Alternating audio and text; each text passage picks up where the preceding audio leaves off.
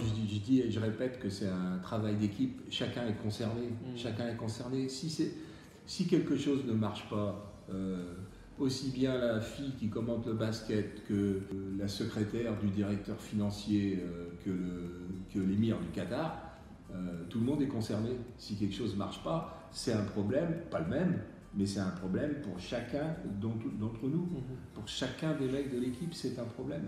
Donc tout le monde est concerné pour qu'il y ait le moins de pépins possible. Et, et souvent, on a eu beaucoup moins de pépins que d'autres parce qu'on y pensait aux pépins et parce qu'on l'anticipait et parce qu'on travaillait longtemps avant. Mhm. Des choses simples, mais souvent on a doublé les faisceaux. Quand on voyait que le temps pouvait être moyen, hop, hop, on doublait les, on doublait les faisceaux. Mhm. Euh, enfin, des choses aussi simples que ça, mais que, que tous les entrepreneurs, en règle générale, font. Oui. Euh, faut anticiper.